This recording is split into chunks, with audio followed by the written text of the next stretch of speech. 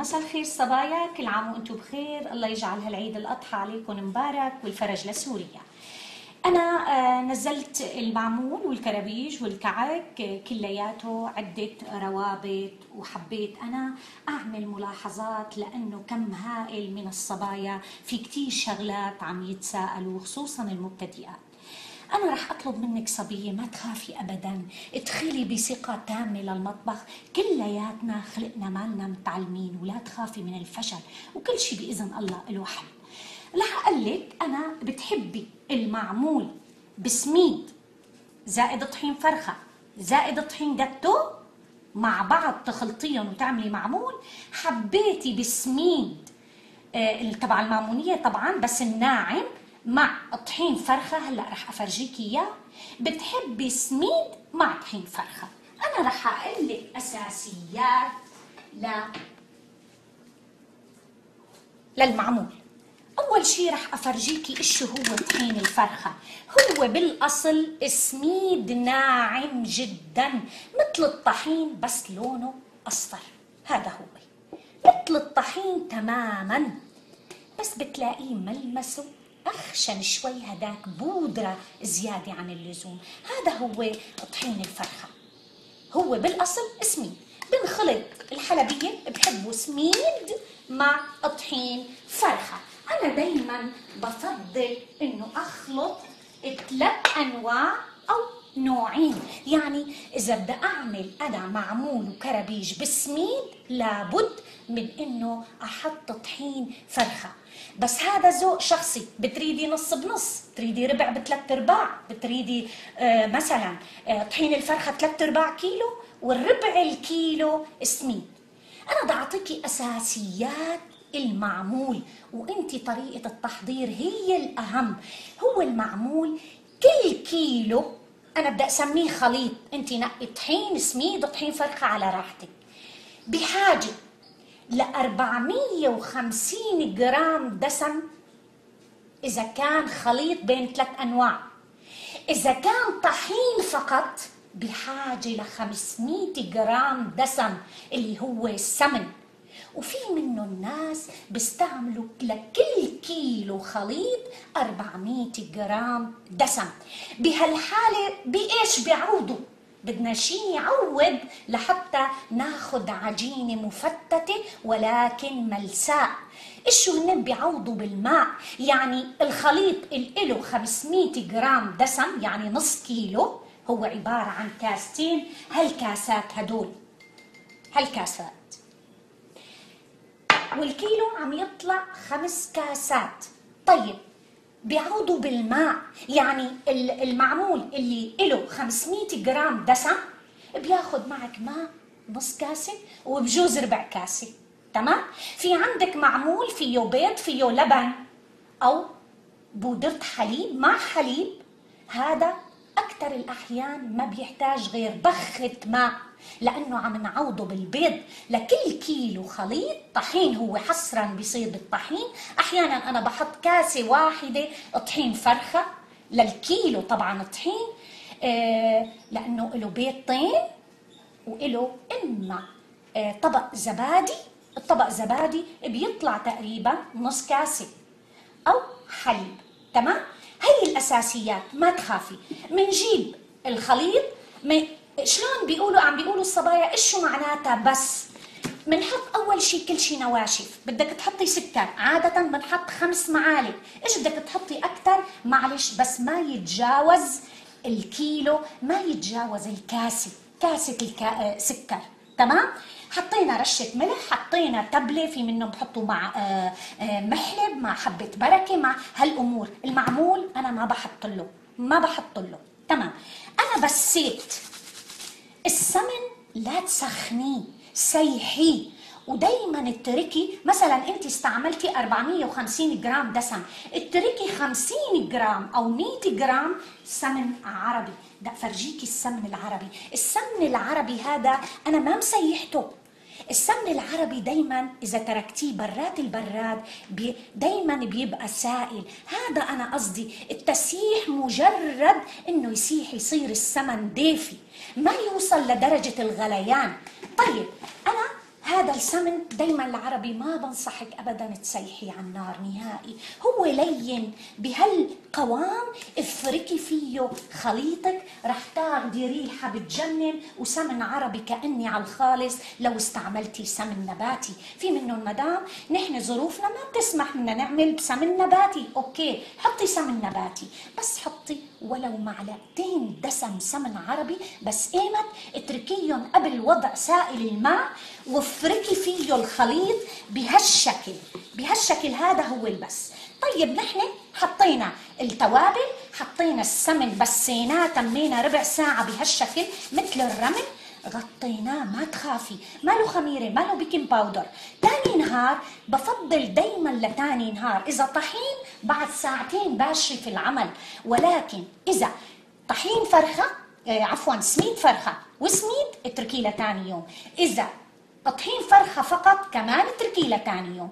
ثاني يوم إيش بتعملي؟ بتجيبي قبل ما توضعي سائل الماء هسا من العربي الطيب ارجعي فركي فيه فركي فيه بهالطريقة. بعدين بنجيب سائل الماء إلنا كل كيلو دايما كل خليط يتراوح مثل ما قلت لك بجوز كاسة حسب الدسم اللي حيططيه بجوز نص كاسة بجوز كاسة بجوز ثلاث أرباع الكاسة بجوز كاسة وربع. طيب شلون بتبخي الماء أنا هذا هو هذا. هلأ هي العجينة مفتتة ممنوع العجن فيها. شوفي شلون عجينتي مفتتة بتشبه عجينة البيتي فور العجينة مفتتة. أنا الماء بعبي الكاسة وببخها بهالطريقة. بهالطريقة. شوفي الردم إيش معناته. هذا الردم هذا الردم لم تكبيس. هذا هو التكبيس. تاخدي عجينة ملساء سهل تشكيلها تمام؟ سهل تشكيلها أنا ساويتها لنشوف خليط الفستق شلون. هذا هو خليط الفستق. عبارة. ثلاث معالق سكر ثلاث معالق قطر رشة ما ورد أو ما زهر بصير مثل العجينة بتاخد العقل بهالصورة. بدي افرجيكي شلون؟ نحن شوفي شلون؟ بتكبسي تكبيس مثل الكبة. طيب رح أفرجيكي شلون؟ مثل الكبة باخذ هالعجينة الفستق بحطها بهالطريقة وبسكر عليها. شوفي شلون صارت ملساء. هذا هو قالب المعمول. عنا قوالب كتيرة. باخد هالشكل الجميل. طيب أنا عندي قوالب تانية. تمر؟ قرفة. آه سمن عربي. أنا دايما بحط سمن عربي. قرفة لتي إيدك ماء بس واعجني تاخدي عجينة لينة شوفي هالعجينة ما أحلاها. رح أفرجيكي شلون. بهالصورة.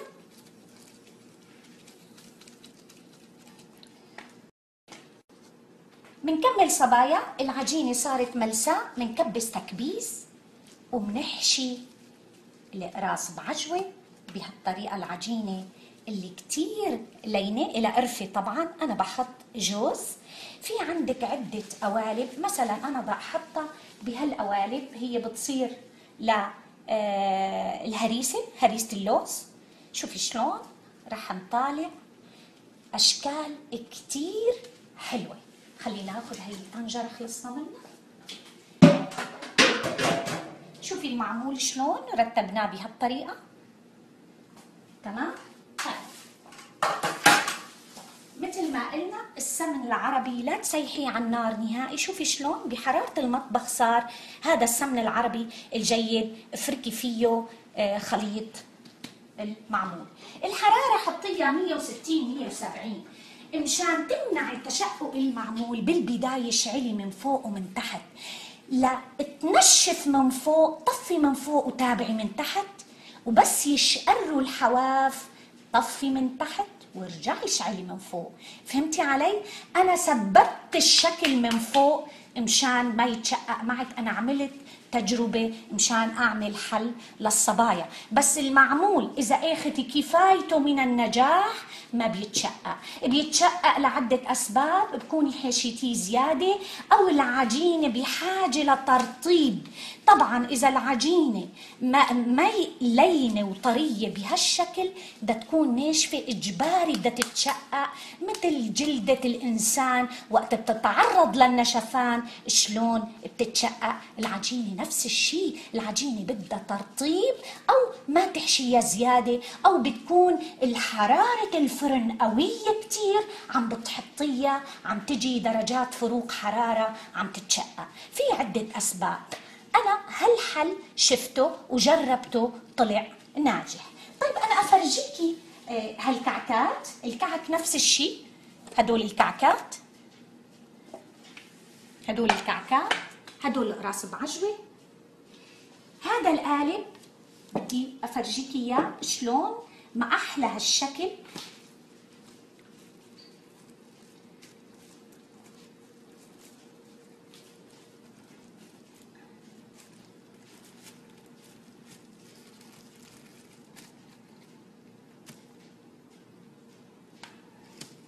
تمام لسه في وحدة. شوفي ما أحلاهم. تقدري انت الفستق تقسميه بالنص وتزيني بهالشكل. ما بدك ما في داعي انت حرة. في صبايا عم بيقولوا بحمصوا الفستق مشان رطوبة منه. للأسف أنا ما بنصحك نهائي. الرطوبة رح تنشف مجرد ما تعرضي المعمول. للفرن وهو بداخل بالعكس. هالرطوبة بتنشف وقت الفستق ما بتحمصي؟ أنا من النوع اللي ما بحمص فستق نهائي. بحطه كما هو لأنه بمجرد ما يتعرض لدخوله للفرن راح يتعرض للنشفان. حتى ده يبقى معك شهر إجباري أي مادة راح تتعرض للتبخير. إيش في سوائل راح تنشف؟ بقى وين رطوبه لحتى نروح نعرض الفستق للتحميص ونفقد هالطعمة الطيبة من الفستق الحلبي. الجوز آه، حشوة الجوز قرفة سكر ما زهر أو ما ورد دايما ضروري معلقة السمن العربي بالحشوة بتعطيكي هالليونة الحلوة. شوفي ما أحلاها مثل العجينة ما رح تمكن معك أبدا أبدا وتصير مثل الحجرة. تمام؟ رح أفرجيكي أنا معمولاتي طالعتهم بالفرن بدي اعطيكي عينة في صبايا. عم بيقولوا بتتشقق الكربوجة.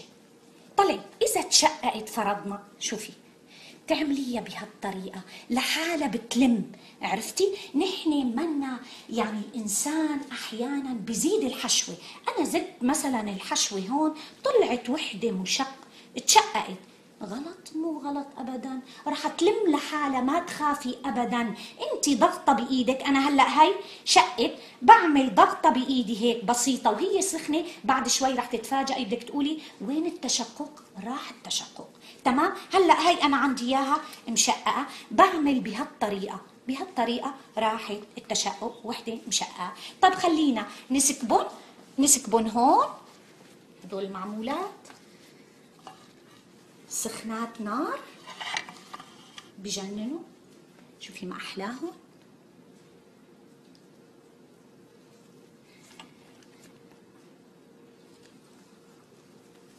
هذا هو معمول مدام دلال هذا هو المعمول قبل الخبز. هلا رح نخبزه. صدقيني شي بياخذ العقل. بدي أفرجيكي أنا بس آه رح نحط كعكة. هون. بدنا نحط معمولة هون. وهذا هذا طبعا له سكر. بدي أفرجيكي أنا.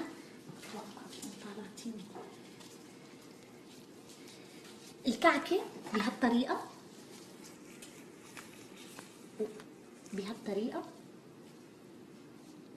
بتحبي تحطي فستق بتحطي على راحتك. انت حرة. هذا هو معمولنا كل عام وأنتم بخير. يد بيد مع مدام دلال. أهلا وسهلا فيكي صبية. كل عام وأنتم بخير. هذا هو الكعكه راس التمر أو راس بعجوة أو سيوة.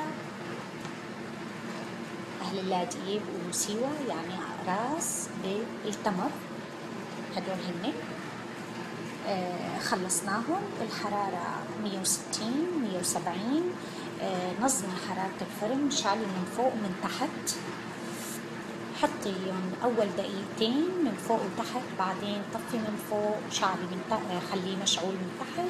وتابعي عملية الشواء. كل كيلو خليط أنا مثل ما قلت لك بتحبي بطحين مع سميد بتحبي مع طحين فرخة خليط بتحبي طحين لحاله مثل أهل الشام. كل كيلو خليط بحاجة ل 450 جرام دسم أول يوم نخلط النواشف مع بعض لكل كيلو خمس معالق سكر.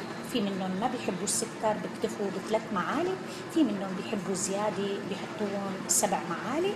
هي ذوق شخصي رشة ملح محلب للكعك والقراص البعجوة المعمول والكرابيج ما بينحط له آه، أول يوم بنسيح آه، السمن تسييح فقط ما بنوصله لدرجة الغليان بنطبه فوق الخليط تبعنا اللي هو سميد أو طحين مثل ما قلنا وبنفركهم فرك مثل الرمل براحة اليد لمدة ربع ساعة رح تطلع ريحة بتجنن.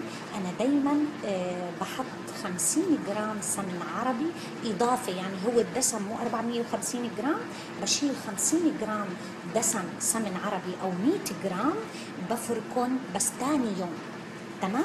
آه وبفركن لينة السمنة بتكون لينة يعني غير سايحة فرجيتكم إياها. المهم بسينا الدسم للخليط وتاني يوم بنحط مثل ما قلنا سمن عربي بنفركه مرة ثانية بدها تكون العجينة مفتتة. بعدين بنحط سائل الماء. بجوز يحتاج معك لكاسة. بجوز كاسة وربع ما أكثر أبدا. وبجوز أقل من كاسة حسب استيعاب السميد والطحين. بس أهم شيء تمتنعي عن العجن وطريقة الردم واللم والجمع وأنا برهنت لك إياها وفرجيتك إياها. تفركي فرق وبتلمي هيك بتاخدي معمول عم بهر هر.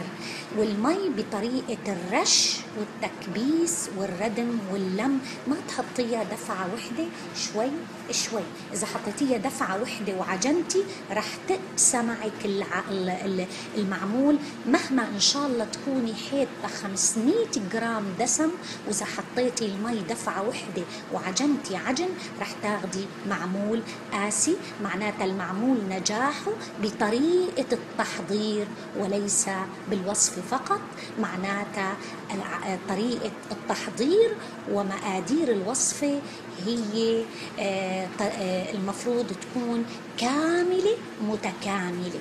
يعني في شيء تكميل للنجاح وهو طريقة التحضير. كل عام وأنتم بخير وحج مبرور لكل إنسان. حج يا رب وادعوا لي إنه الله يمنحني الحج. أهلا وسهلا. أنا حجيت بس بإذن الله أنا ناوي إنه كل سنة أحج بجوز بكرة أكون بالحج. أهلا وسهلا فيكي صبي.